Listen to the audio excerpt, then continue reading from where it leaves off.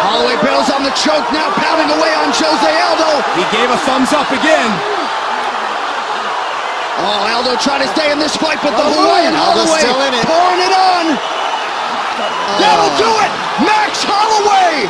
Max Holloway is the undisputed UFC featherweight champion. Hawaii, stand up!